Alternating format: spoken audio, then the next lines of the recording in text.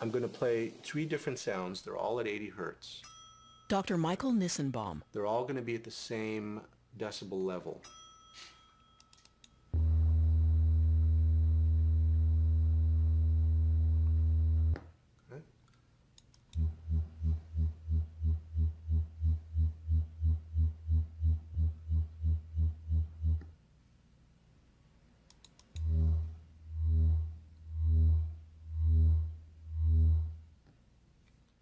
Which one would you rather spend time with?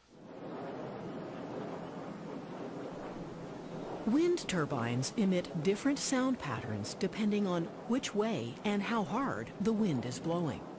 The different characteristics bother people in different ways. The real question is, do wind turbines cause noise? Yes. Do they cause sleep deprivation? Yes. Is sleep deprivation a problem? Well, of course it is. Well, therefore, we have a completely plausible chain of causation here. Dr. Michael Nissenbaum is a radiologist and public health advocate.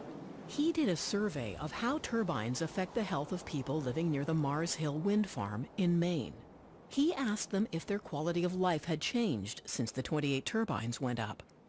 And we got results that showed that there was an unequivocal uh, deterioration in people's mental health, uh, a deterioration in their sleep quality, and an increase in their daytime sleepiness the closer they lived to, to wind turbines.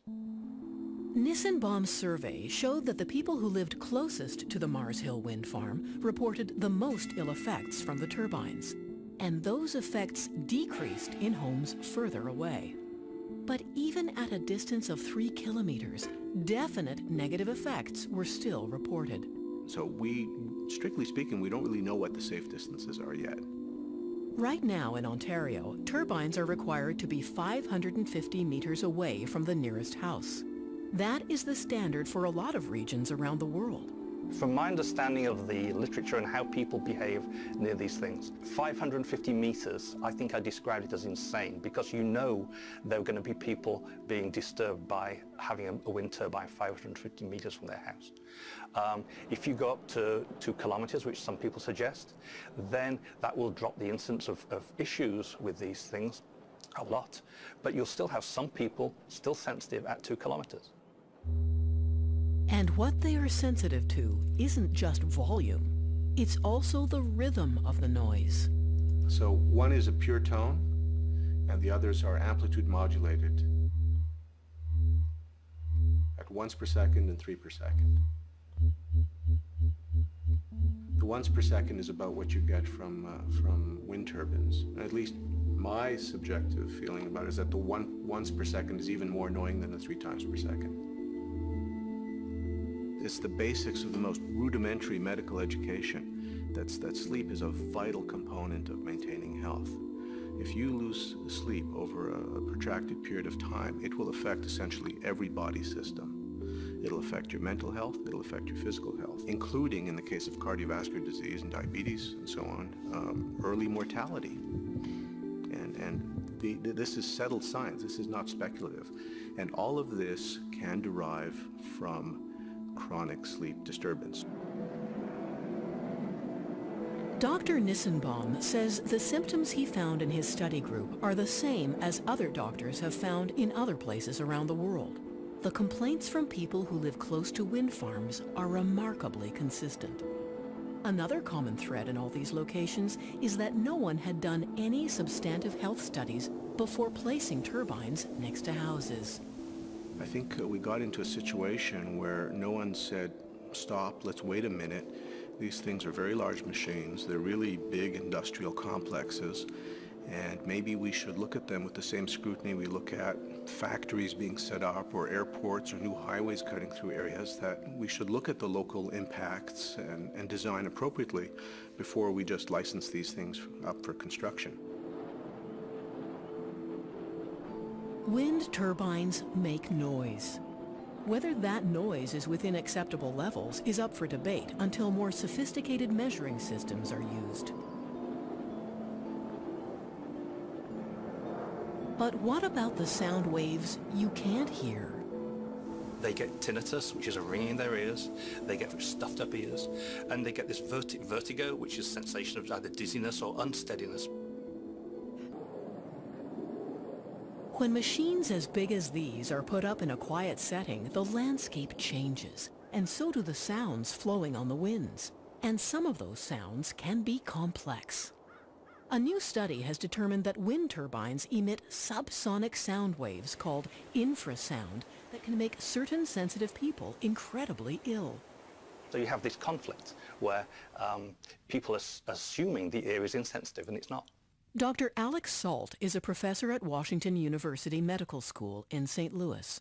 He specializes in the physiology of inner ear fluids. Um, lots of things create uh, low levels of infrasound.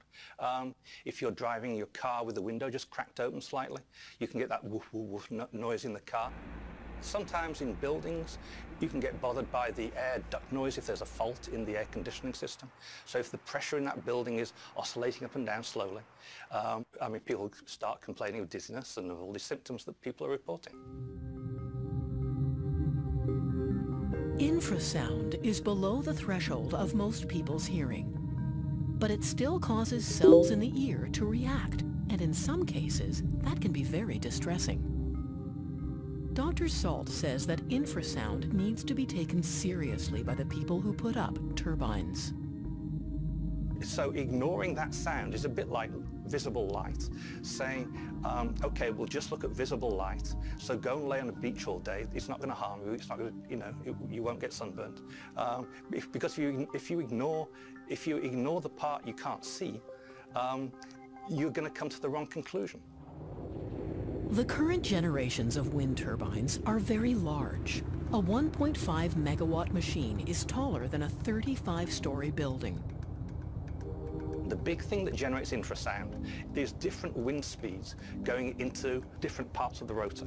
So that what's called turbulent inflow into the rotor makes them generate a lot of infrasound. It's going to disturb their sleep. So if it wakes them up and they can't get back to sleep again, that has serious long-term effects on people's health. Um, they get tinnitus, which is a ringing in their ears.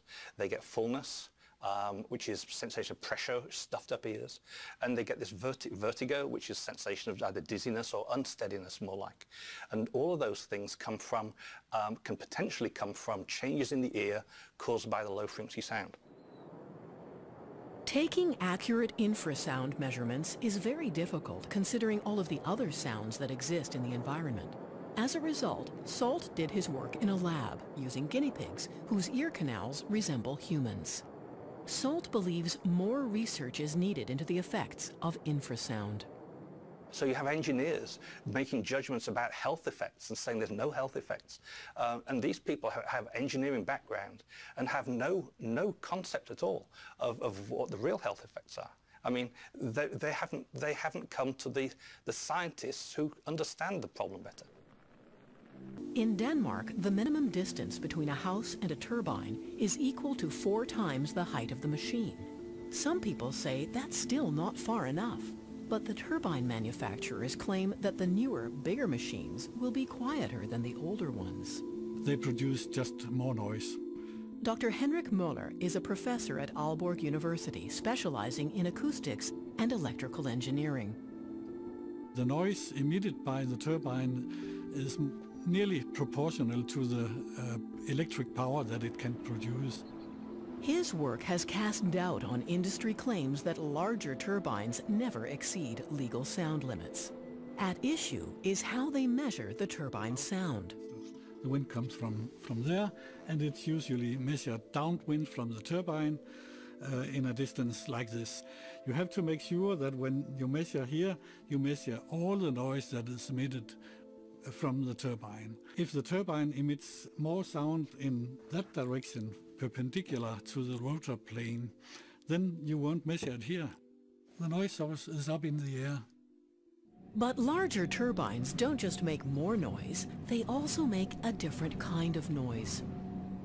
You get more low frequencies from wind turbines um, that are larger. If you go inside closed door and windows, there will not be a lot of high frequency noise inside. But the low frequency noise still propagates through windows, uh, through the roof and, and building structures. A lorry standing next to your house is one of the most common uh, things that people uh, compare it to. It may also sound like an old fridge which you don't like in the in your kitchen and therefore you close the door to the kitchen but if it's a wind turbine it goes in everywhere so you can't just close the door it it still is uh,